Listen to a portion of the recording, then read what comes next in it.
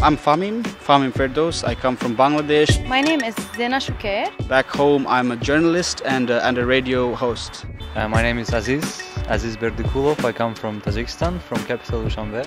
I'm from Lebanon and I work in different sectors from program management to arts and culture and diversity. I would say that uh, it matters because it uh, unites societies and it uh, also destroys the stereotypes. Uh, because it will widen your worldview It opens a new door to the world. and it will it will change how you think about the people and the world. I sort of knew what to expect. Uh, I've been to Austria for some time.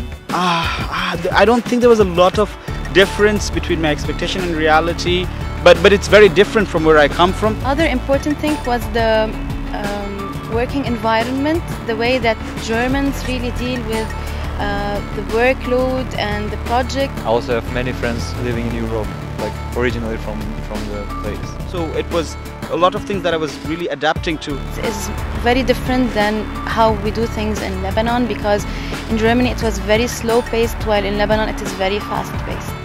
Uh, one thing I can I can mention is the day is much longer here than than back home. So for the few first few days, uh, this 10 p.m. sunset was a little difficult. Like it was unusual for me to adjust to.